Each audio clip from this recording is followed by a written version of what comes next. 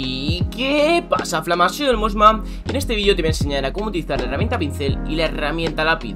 Son herramientas muy sencillas, pero que hay veces que tienen una interfaz compleja y no sabemos cómo cambiar la punta del pincel o cambiar la opacidad o la dureza. Y en este vídeo es lo que te voy a enseñar, así que bueno, vamos con ello.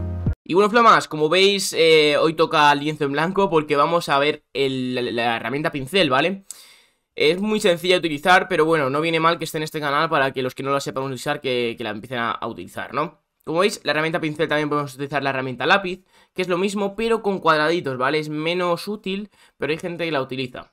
En nuestro caso vamos a utilizar la herramienta pincel, pero que sepáis que podéis hacer exactamente las mismas funciones con la herramienta lápiz. Bueno, clicamos y como veis aquí tenemos distintos modos de fusión, tenemos la opacidad que en mi caso voy a poner al 100% y tenemos distintos parámetros que los veremos ahora mismo. Aquí, en este puntito de aquí, como veis, si yo doy un clic, como veis, tengo muchos pinceles, de hecho se pueden importar más pinceles para hacer salpicaduras, rasguños, tipos de pinceles que pueden venir muy bien. Como veis, aquí tengo uno de, salpicaduras, que podemos utilizar si queréis ahora, y de pasos, por ejemplo, hay miles de pinceles que podéis importar, ¿vale? Entonces nosotros vamos a coger el circular definido, ¿vale? Para que veáis un poquito cómo funciona. Y aquí en tamaño podéis poner el tamaño que queráis. Si pongo, por ejemplo, tamaño de 3400, veis que la previsualización se hace también más grande. De momento vamos a ponerla en 50 y, o 100 y pico para que veáis más o menos cómo funciona. El color que selecciona, ¿vale? Es el color que está aquí a la izquierda, abajo, ¿vale?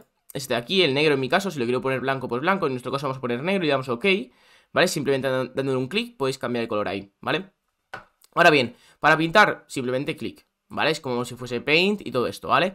Luego la opacidad podemos bajársela, como veis yo puedo bajarle la opacidad y pintar, ¿vale? También, por ejemplo, podemos poner el modo de fusión, podemos poner, por ejemplo, superponer, que se superponga a, lo que se vea, ¿vale? Entonces podemos por superponer y como veis, solo se, superpone a lo que está eh, visible, ¿no? En, el blanco no, obviamente. Y como veis, eh, básicamente es eso. Realmente el pincel, o sea, luego el... Como veis, funciona exactamente igual, ¿vale? Luego aquí tenéis eh, de la misma manera, el, el, lápiz, ¿vale? Que también podéis hacer la opacidad y todo este rollo que os he estado explicando, ¿vale? Y nada más, realmente esto es el pincel, no tiene mucha más utilidad, a ver, tiene muchas más utilidades, pero bueno, eh, es algo, ya sabéis que este curso es un curso básico, ya haremos un curso más avanzado en un futuro, pero de momento este curso está muy bien para que tú más o menos te manejes con todas estas herramientas.